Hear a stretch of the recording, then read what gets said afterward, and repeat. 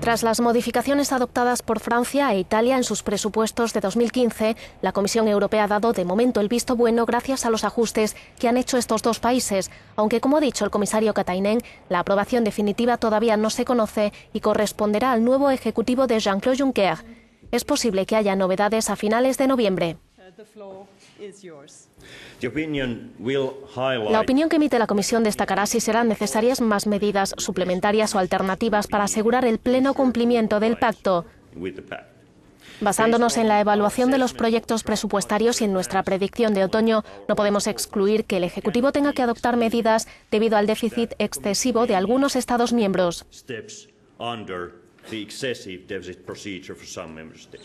París ha decidido adoptar ajustes por valor de hasta 3.700 millones de euros y las medidas de Roma ascienden a 4.500 millones.